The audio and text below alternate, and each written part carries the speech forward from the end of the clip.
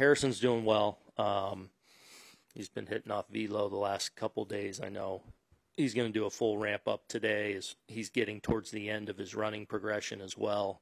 Um, this will be an important week for him in that you know he'll kind of do full pregame, you know, outfield work, final running progression things, continuing to hit, and if all goes well there, you know, could start a rehab.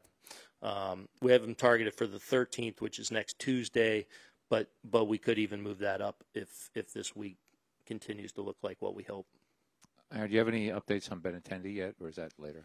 No, so he's seeing the the doctors today. Um, surgery would be in play potentially for tomorrow, um, but he's got to get with you know all the people to sign off on that today.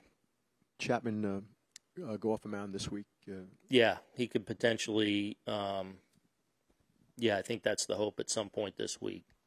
I think he's eligible. What the twelfth, maybe, or or is it? The, I don't know.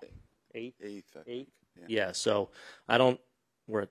I- I'm not sure he'll be activated at that point, but we're hopefully have him uh, in line to throw a bullpen. Just kind of depends on the final healing of the wound. DJ's yeah, just you know need you know need to give him a day here. Potentially weather tomorrow. Um, you know, possibly a chance. So with DJ, it's just going to continue to to be a fluid situation, kind of monitor, but felt like he needed a day today. The the last you know couple weeks have, have been a struggle, um, obviously. So we just got to continue to monitor it and have frank conversations and and see where the days of rest can possibly help him.